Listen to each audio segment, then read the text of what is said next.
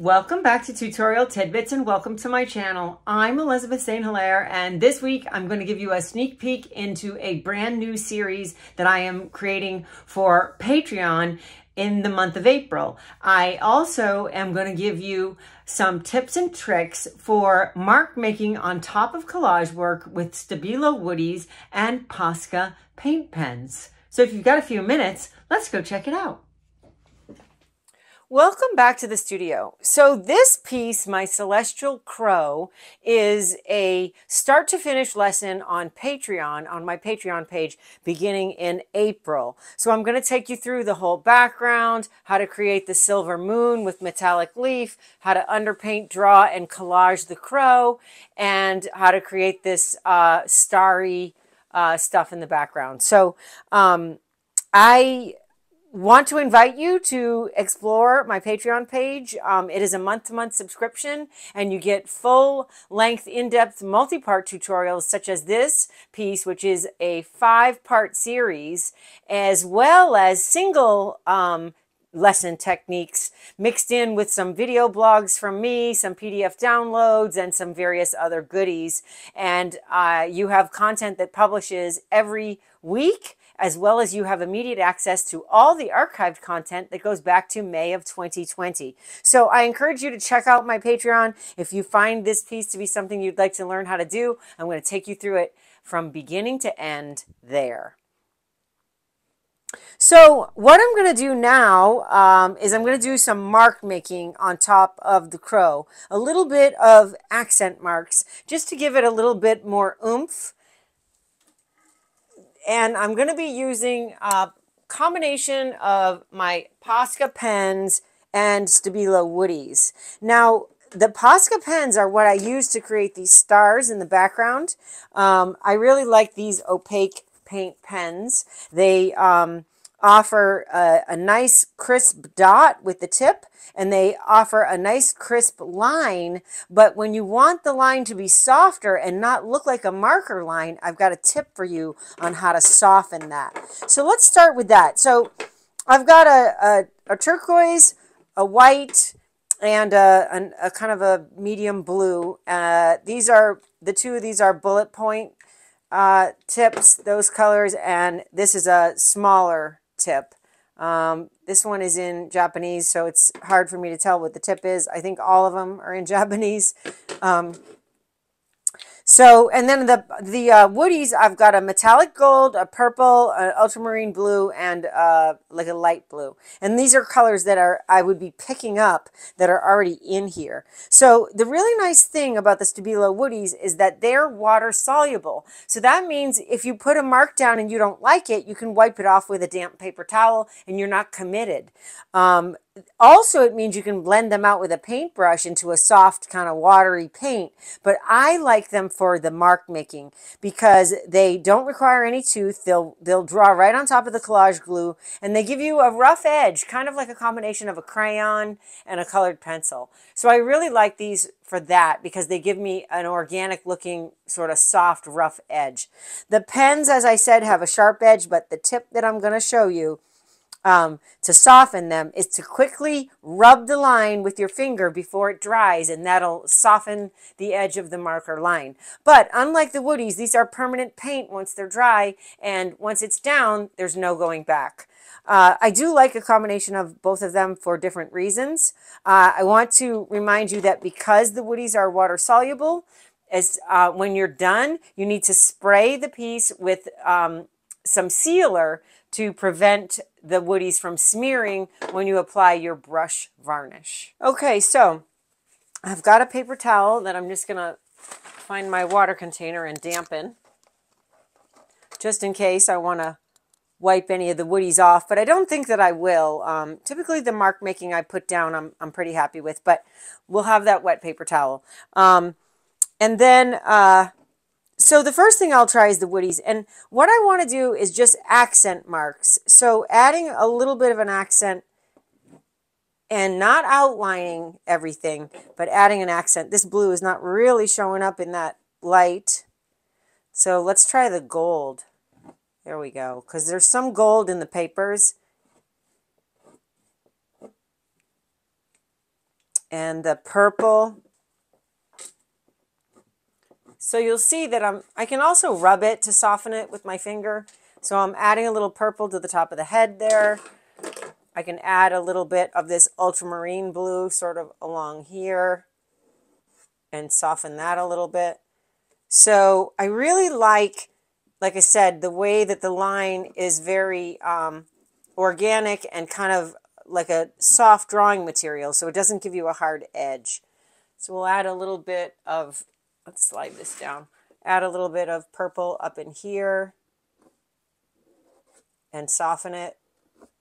So the idea, like I said, it's not to outline everything, but rather to give some accent and maybe some definition to these individual feathers.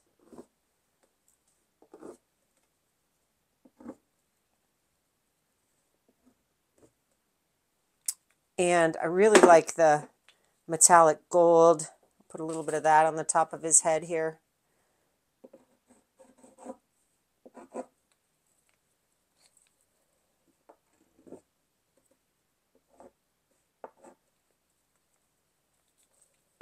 And the purple picks up a lot of the subtle purples that, that are in the feathers. That I really like that purple.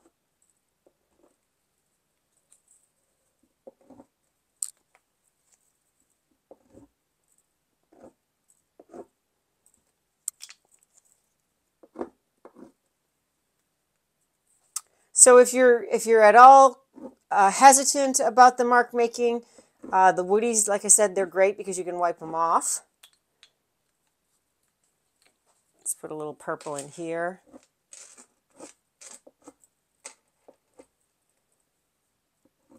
And you could soften with the, the wet paper towel too. You could soften the lines or tone them back a little bit or whatever you feel like you need to back off the intensity. So you can see that the lines are just adding some accent color.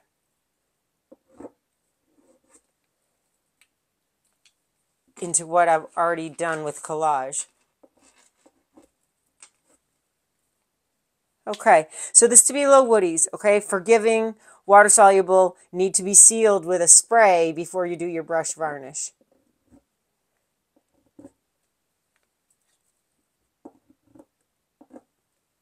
and a beautiful way to accent some of these pieces of collage paper.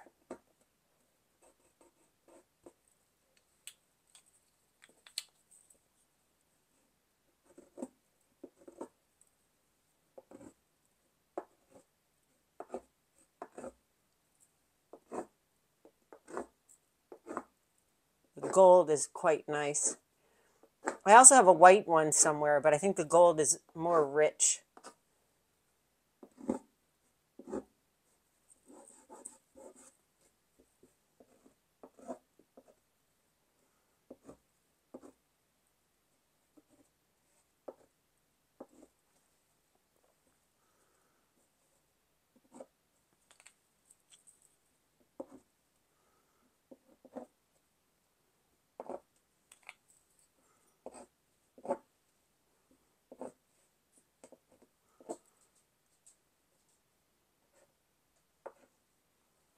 Okay, so that's using the woodies to just make some accent marks to highlight where the light might be catching it and to define some of the individual pieces of paper, okay?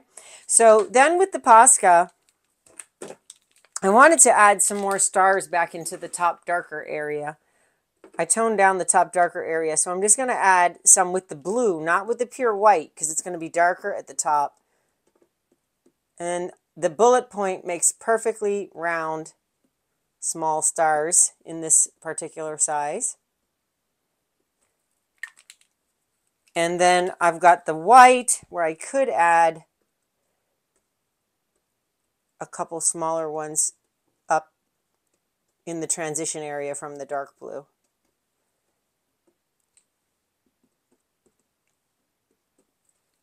Okay. So then within the body of the bird, I can add the Posca line and, ooh, maybe not so much.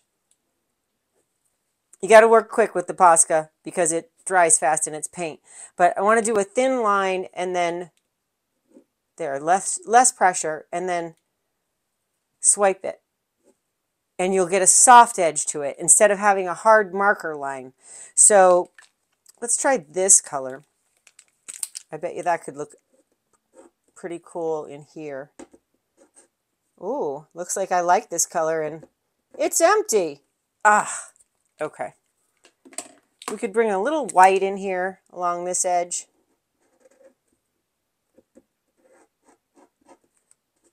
And smudge it. I think this blue is going to be our friend. There you go. So you see the hard line there and you take it and you just blend it and you'll soften that marker line right up. But it's so opaque that it goes over. And the woodies are opaque as well, but it really stands out. But you want to do that rub so that you just don't have that hard marker line effect because it's not consistent with the collage. So that I don't like. So quickly you can rub it off. So we'll put one in down in here in the leg.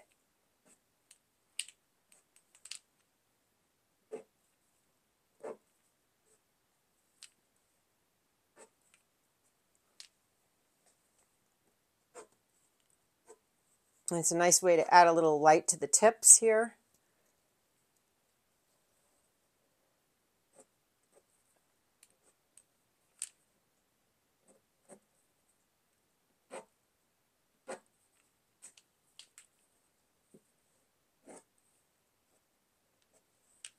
So you can see that that quick smudge with your finger makes a world of difference in the quality of the line.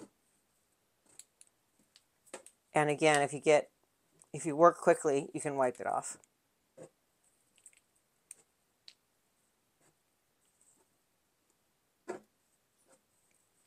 So up in here where I added some of that gold, I'm going to add a little of that light blue to the tips, just the tips.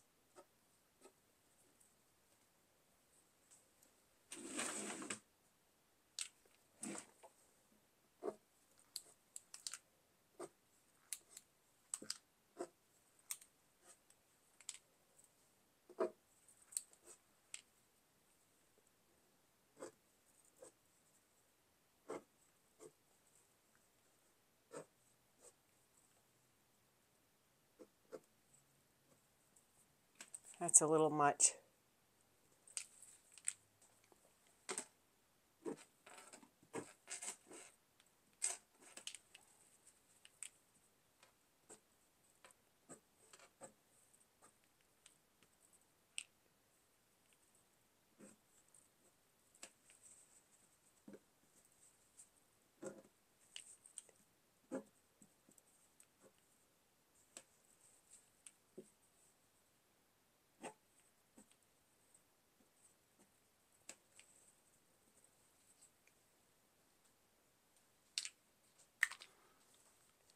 So I hope you found that helpful and encouraging and gives you some mark making suggestions and possibilities on top of collage to add some colorful accents with two different materials. I think I need to soften that a little bit.